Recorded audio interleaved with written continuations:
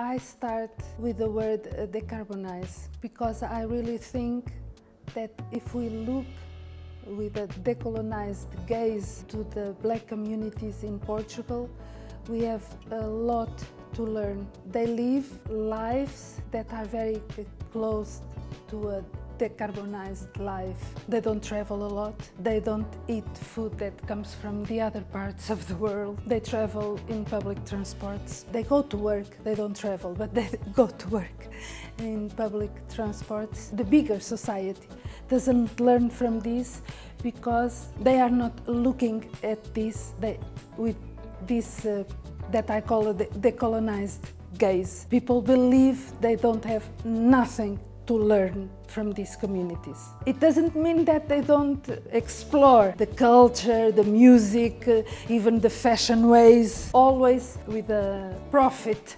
mentality, not with a learning, humble attitude. And also, uh, for me, it's uh, very important before the relations with governments and with uh, politics to practice uh, citizenship, to practice democracy in the way we deal in, in, the way we relate with public institutions. In the case of Portugal, we are moving very fast to an idea that individuals can solve their problems and forget the rest, forget the others, that we live better alone if we don't work together because the community is, is heavy on me, is on, cannot be on my shoulders. So we leave public health, we leave public schools, we leave uh, public services always when we can. This is very dangerous because if only poor people stay in public school, the public school will be worse. But I see that many people, even left-wing, let's, let's put it like this, left-wing people, when they can, they put their children in the private schools. And then they say, ah, but in Finland is so good the school, we should have a school, a public school like Finland. But in fin Finland there are no private schools. That's exactly why they are so good, or at least better than ours.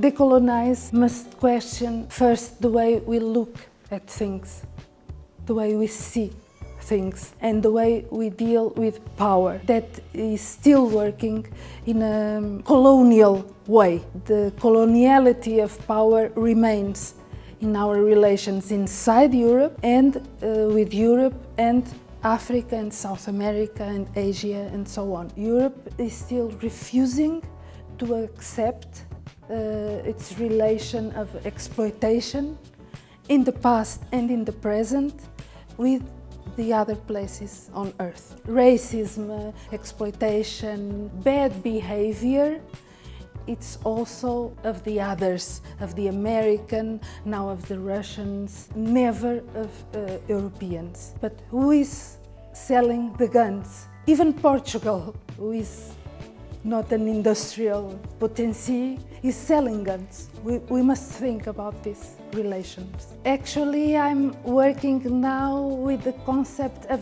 de-othering and de-bordering. What is othering? It's to turn the one who is perceived as the other into one thing.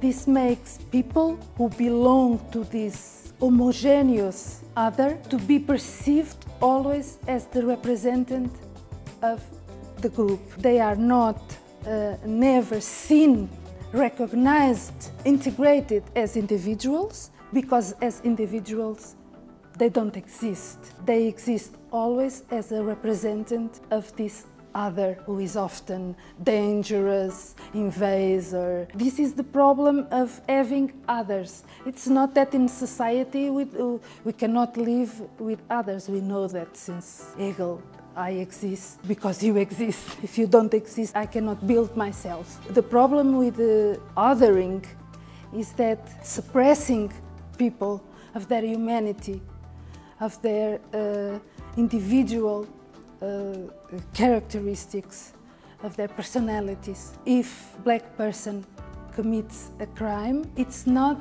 that person who is committing that crime. It's they.